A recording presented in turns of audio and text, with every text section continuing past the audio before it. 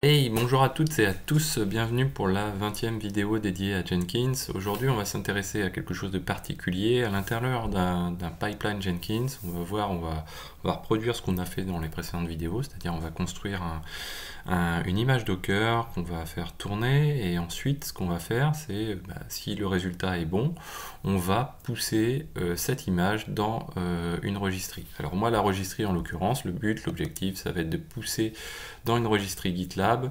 Donc on va construire une image à partir d'un Dockerfile qui est situé sur, euh, sur github.com. On va ensuite construire cette image donc la tester, la runner, et ensuite la pousser sur une registrie de GitLab. Donc GitLab, moi j'ai un projet euh, dans, le projet Jenkins, je me suis rendu dans registrie et ici, ce que je veux c'est la stocker ici. Donc première chose à faire, on va créer un job. Donc on va l'intituler push euh, registry par exemple. Euh, on est en mode pipeline et on dit OK. Donc nous, ce qu'on va faire, on va aller éditer notre pipeline ici. Donc on, est, on commence par un, node. Donc ça c'est le minimum, ça on a l'habitude. Ensuite, on va euh, dérouler cette partie-là. On va définir deux variables ici. Je vais les copier, je vais vous expliquer. Euh, Donc on va définir deux variables.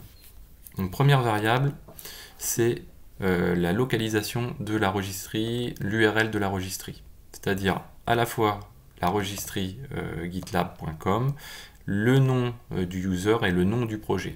Ça, je vous invite à vous rendre dans le volet Docker ou, ou, dans le volet GitLab. dans la playlist GitLab, j'y explique comment utiliser la registrie GitLab. ensuite, qu'est-ce qu'on fait? On crée une deuxième, deuxième variable qui, elle, euh, définit le nom de l'image. Alors le nom de l'image reprend quoi? Reprend le nom de la registrie, donc on a juste au-dessus, donc ici on recopie cette variable. Ensuite, suivi de deux points, et là on tag notre, euh, notre image Docker avec quelque chose qui commence par version et ensuite on utilise ici la variable d'environnement qui est le build ID euh, de Jenkins. Donc Jenkins possède des variables d'environnement, là on utilise le build ID. Donc là voilà, première chose de fait. Ensuite, ce qu'on va faire, donc on va cloner notre, euh, notre dépôt. Hop, on va se rendre ici. On clone, hop, je peux copier. On clone notre dépôt. Donc le clone du dépôt, c'est pas... Donc là, moi j'étais parti sur un, un comment? Un Jenkins file. Nous, on va le faire sans Jenkins file. Donc, on dit git. Et puis ensuite, on copie ici la localisation du point git de manière à recopier notre dépôt.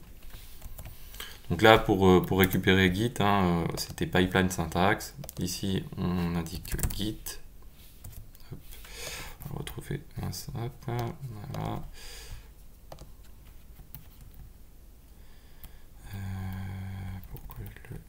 Classé dans l'ordre, ok, super, git, voilà. Donc ici, dans l'aide à la rédaction de syntaxe, on indique git, on n'a pas de, euh, de, comment, de credential, donc pas de souci. Donc ça, c'est fait. Maintenant, on va passer à un autre stage, donc le stage du build euh, d'image, donc ça, on l'a déjà vu dans la précédente, euh, la précédente vidéo. Et on va l'ajouter, ajouter cette étape-là. Donc ici, on va faire le ménage, voilà, toc, on colle, ah, ça n'a pas collé, copier, qu'est-ce que je fais à chaque fois? Hop, voilà. Donc ici, alors, qu'est-ce qu'on fait? C'est un petit peu particulier. On définit une étape, stage build. On dit qu'on build l'image à partir de ce qui se situe à la racine euh, du dépôt. Et on définit une variable en même temps qui s'appelle img et qui va contenir donc cette image, euh, l'objet image, et qui est issu donc de notre stage. Ici. Donc c'est un petit peu particulier. Alors après, qu'est-ce qu'on va faire? On va runner. Donc on va runner, ça c'est pareil, on l'a déjà vu dans, dans, une précédente vidéo. Donc rien de, rien de nouveau là-dessus.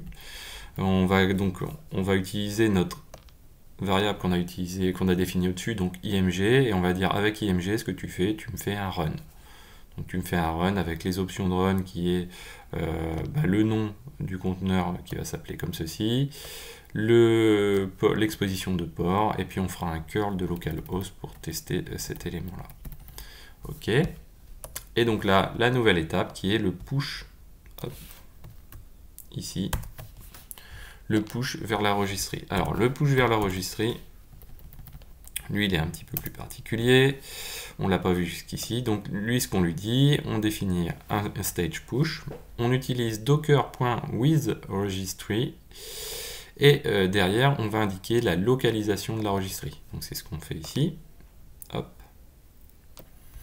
Là, le reg 1 correspond à quoi? C'est tout simplement des credentials. Donc si on va dans Jenkins, ici, j'ai été créé ici des identifiants. Euh, donc un identifiant ici de type registry. ici. Et donc, cet identifiant, je l'ai nommé avec un ID Jenkins pour pouvoir le réutiliser plus facilement. Euh, reg 1. Donc l'identifiant, c'est quoi? C'est un login, un mot de passe tout simplement. On peut créer de nouveaux identifiants de domaines, voilà. Et donc, euh, ça va permettre de pouvoir euh, s'identifier. Donc là, on va, on va faire une chose, on va pousser deux, quoi, pas deux fois l'image, mais euh, deux tags de cette image. Donc on utilise toujours img, qui est l'image qu'on a générée. On va dire, tu pousses cette img en version latest, et tu me la pousses aussi, tout simplement, avec son, sa version standard, son tag, son tag pardon, standard. Voilà, donc là, normalement, avec tout ça, si on sauvegarde, hop, je vais lancer le build. Voilà, donc là, c'est parti. Donc, il clone. Il construit donc l'image. Je peux mettre en output.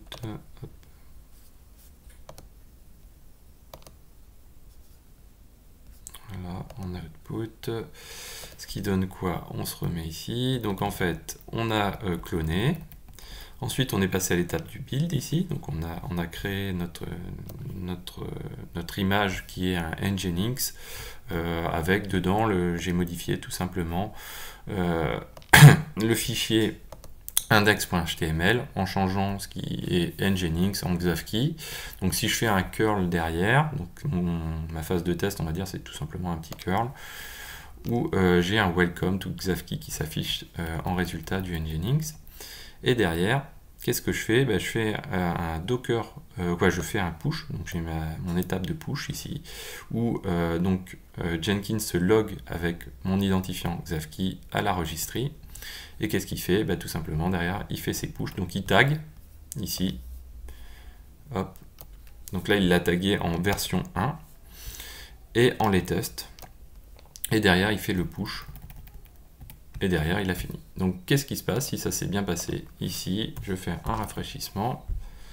Et là, qu'est-ce qu'on a? On a tout simplement notre image qui est arrivé sur euh, la partie registrie euh, de GitLab dans le projet euh, présentation Jenkins que j'avais défini en variable. Donc voilà, on a, on a balayé les choses. Alors là, c'est la version sans Jenkins file. Moi, j'étais parti sur un Jenkins file. Donc en fait, ce que j'ai, j'ai un repo L Voilà, donc dans mon dépôt, ce que j'ai tout simplement, c'est un Dockerfile, un Jenkins file. Ce dépôt, je l'ai d'ailleurs déposé sur le Git euh, sur lequel on a été récupérer les éléments. Donc j'ai mon Dockerfile qui va me permettre de construire mon image. Donc ce qu'on a vu tout à l'heure, on part d'un Nginx, on fait une petite modification sur l'index.html, on expose le port 80. Et à côté, lui, euh, je stocke en même temps le Jenkins file et le Jenkins file, lui, il comprend tout ce qu'on a, euh, tout ce qu'on a déclaré, tout ce qu'on a fait tout à l'heure dans Jenkins, avec le push à la fin qui est important. Voilà, et donc euh, ça, bah, je vous, invite à voir la vidéo sur les Jenkins files pour voir comment, on les lance, mais c'est euh, extrêmement simple. On peut se le faire d'ailleurs tout de suite, donc on va le faire avec un Jenkins file, donc nouvel item, on va faire with Jenkins euh, on dit qu'on est de type pipeline, et là au lieu de dire qu'on est en mode de script, on va dire tout simplement, euh, hop là, c'est ici, voilà, qu'on est euh, à partir du SCM, qu'on est à partir de Git.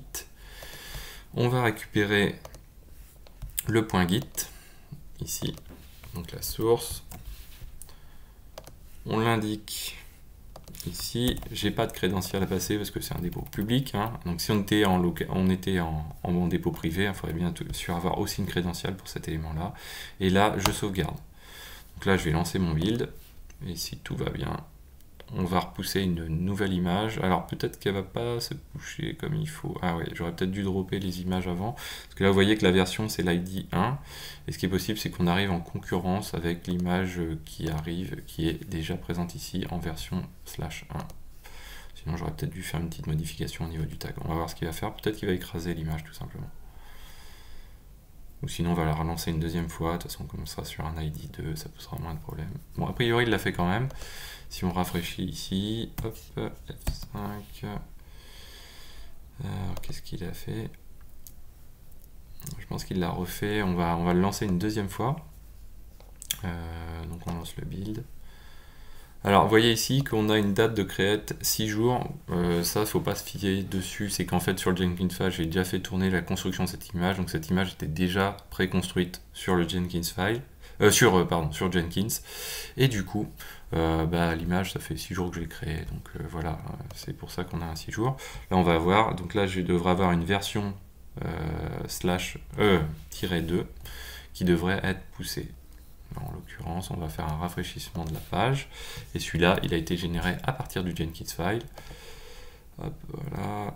Toc, et voilà. Donc on a bien la version 2 qui a été, euh, qui a été poussée. Voilà, donc j'espère que cette vidéo vous a plu et je vous dis à très bientôt sur Xavki.